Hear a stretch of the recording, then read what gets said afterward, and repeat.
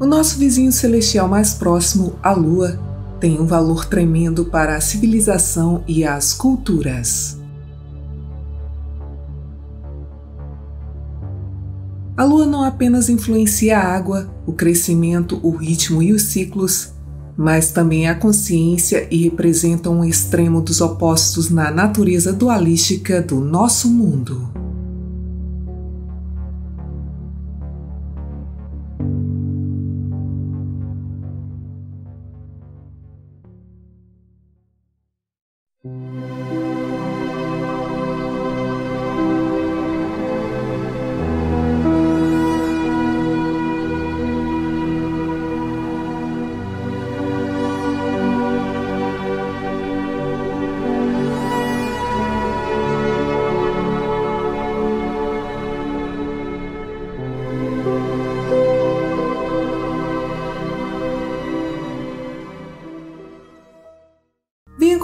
Os nossos livros sobre temas diversos já abordados aqui no canal, como ensinamentos metafísicos, a relação entre a mente e o universo, sabedoria universal e muito mais. Acesse a nossa página www.poderdoeusuperior.com e adquira já o seu. Embora o nosso Sol seja o doador da energia e dite a vida diária ao redor do globo, a lua é o objeto de fascínio que está impresso na psique desde o início das nossas vidas, nos impactando de várias maneiras.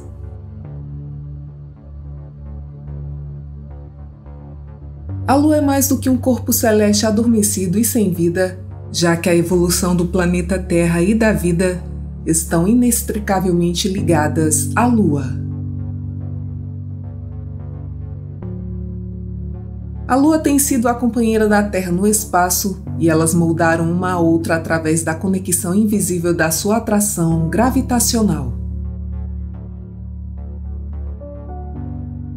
A atração gravitacional da Lua é relativamente fraca em comparação com a da Terra, no entanto, a atração gravitacional da Lua é responsável pela atual duração do dia da Terra, pelas estações estáveis e as marés.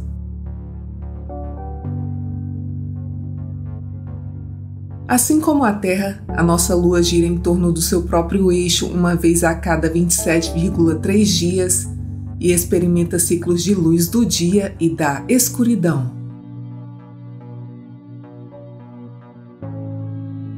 A Lua leva a mesma quantidade de tempo para orbitar completamente a Terra, e é por isso que os observadores da Terra sempre veem o mesmo lado da Lua. Durante esta revolução, ela passa por suas quatro fases, e essas foram usadas para marcar a passagem do tempo, e o nosso mês de 30 dias é uma aproximação do ciclo lunar.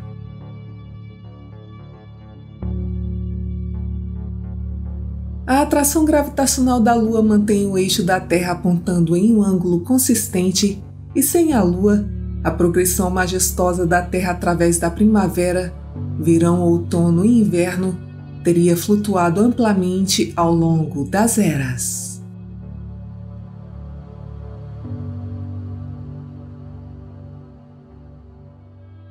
Em várias civilizações, a lua foi retratada como uma divindade em um fenômeno sobrenatural e era tema da mitologia e do folclore.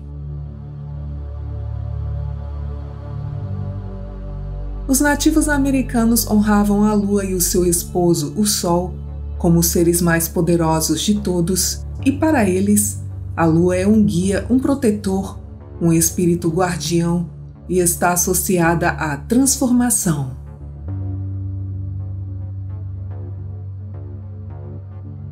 A lua não apenas influencia a água, o crescimento, o ritmo e os ciclos, mas também a consciência.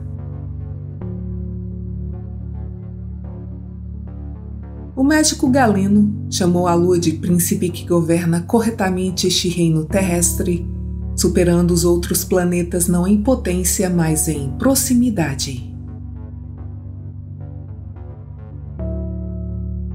Ele também afirmou que a lua era responsável por todas as mudanças físicas na doença e na saúde, e considerava os seus aspectos decisivos para o prognóstico.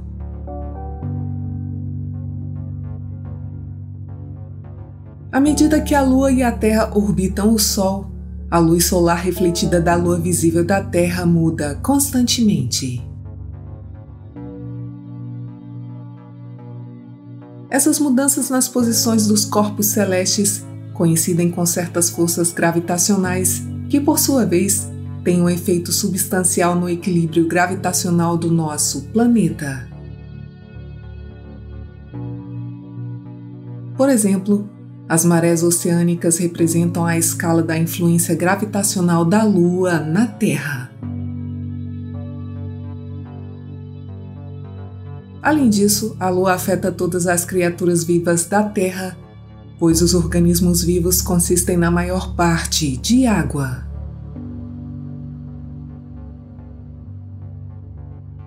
Nos humanos, entre os demais seres vivos, o sistema nervoso central é constantemente afetado pela gravitação lunar e principalmente a fase da lua cheia vem afetando muitas pessoas em todo o mundo, causando instabilidade emocional e insegurança.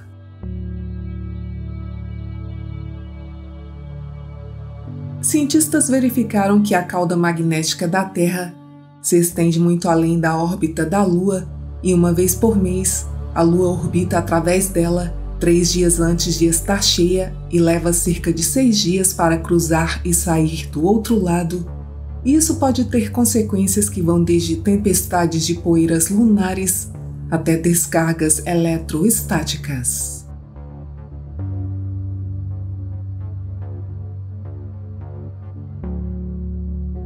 Tudo no universo, estrelas, planetas, satélites ou mesmo a Lua, tem uma frequência de operação.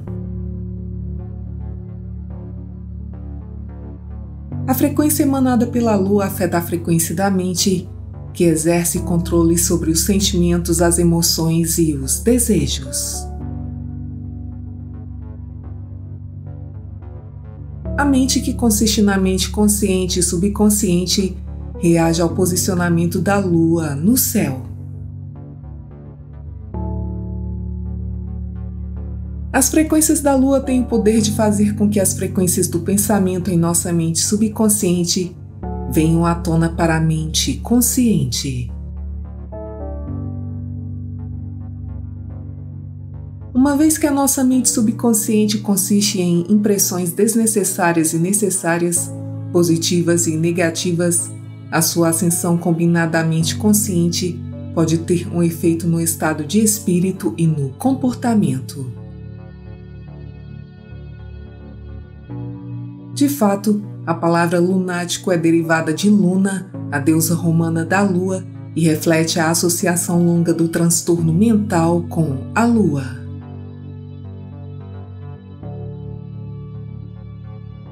A lua é um símbolo usado frequentemente na alquimia e representa um princípio espiritual, um extremo dos opostos na natureza dualística do nosso mundo. Como a lua é iluminada pelos raios do sol, ela é considerada feminina e está associada à prata e à operação da destilação, uma das sete operações espirituais transformacionais alquímicas.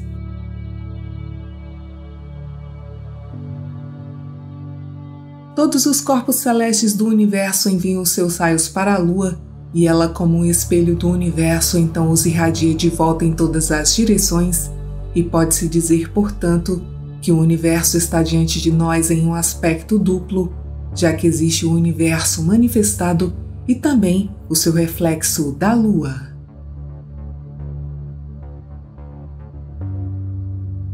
As artes herméticas falam de dois princípios fundamentais, o Sol e a Luna, onde a Lua era vista como a contraparte do Sol, assim como a noite é o oposto do dia.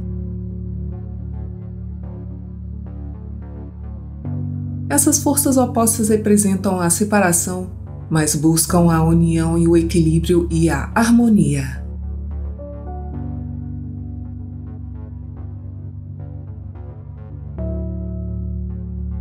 Segundo o psicólogo Carl Gustav Jung, Assim como toda a energia procede da oposição, a psique também possui a sua polaridade interna, o consciente e o inconsciente, sendo este o pré-requisito indispensável para a sua vitalidade. Esses dois elementos opostos se encontram e se unem no que é conhecido como casamento alquímico, criando algo maior e mais poderoso do que as partes individuais, ou seja, a integração perfeita das energias masculina e feminina.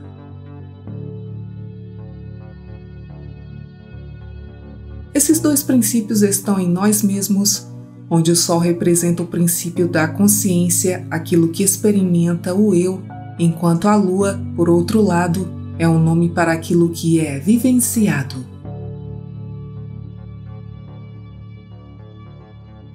Os gregos a chamavam de Hiller, e essa palavra é traduzida geralmente como a matéria ou a luz astral, uma substância aquosa que não tem forma própria, mas que pode assumir a forma de coisas específicas.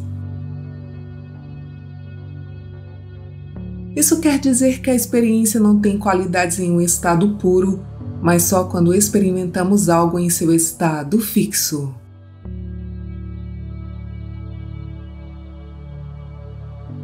A importância da Lua e a sua influência sobre a humanidade transcendem o que a ciência e a tecnologia retratam como sendo a nossa Lua.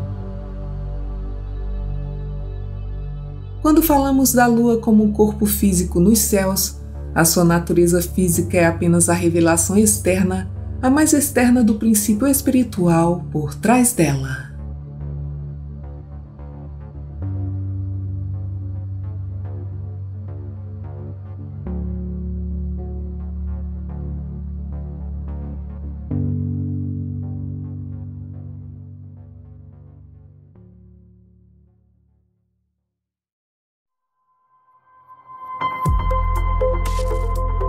Obrigada por assistir, muita paz, muita luz e até o próximo vídeo.